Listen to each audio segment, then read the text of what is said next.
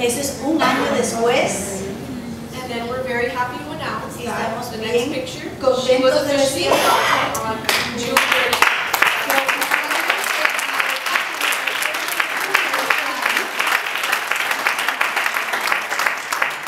I know the story doesn't completely end, but it's ended in the stressfulness of courts and dates and Y yo sé que no, no se ha terminado la historia, pero ya por lo menos esa porción de la corte, de la fecha, ya eso se ha quedado atrás. But she's ours forever and um, we're very grateful. Pero ahora es nuestra para siempre y estamos muy agradecidos.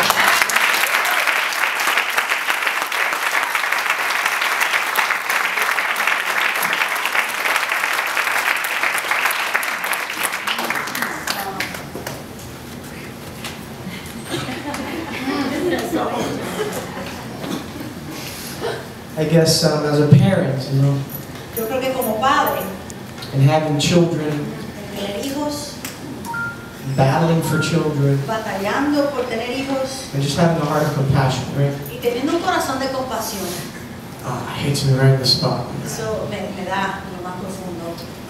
Yeah, I'm not going to preach today. Si hoy yo no voy a predicar, I'm just going to close off the service today. sencillamente voy a cerrar el servicio hoy. I think God has brought forth a tremendous word during worship, Yo creo que el Señor ha traído tremenda palabra durante la adoración and God has done His thing here in this church. y el Señor ha hecho lo que iba a hacer en esta iglesia. He's so faithful and so good to us. Es tan fiel, tan bueno con nosotros. I think that we should live our lives just to love Him and only Him, Creo right? que debemos de vivir nuestra vida sencillamente para amarle. This morning I want to close off in prayer, but I want everybody to stand together. En esta mañana quiero cerrar en oración, pero quiero que todos